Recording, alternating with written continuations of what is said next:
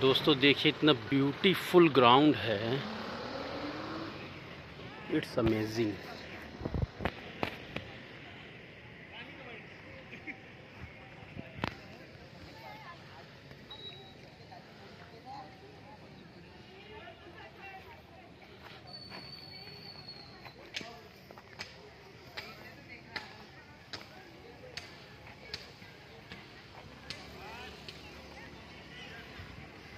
Wow.